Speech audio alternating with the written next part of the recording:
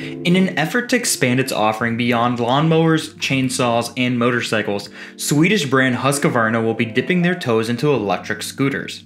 While Husqvarna did show off the 11 horsepower E-Pilen concept a few weeks ago, which looks stunning, the Vektorr is the first electric scooter that Husqvarna has put its name on it, and it looks ready to ship to dealers.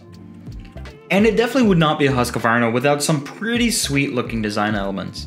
It features a single round headlight, fairings on both sides, and a two-tone paint job with yellow accents.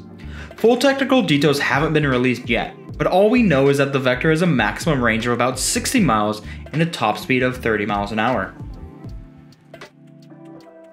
Thanks for listening to today's Motorcycle News Shorts. Now, make sure to subscribe.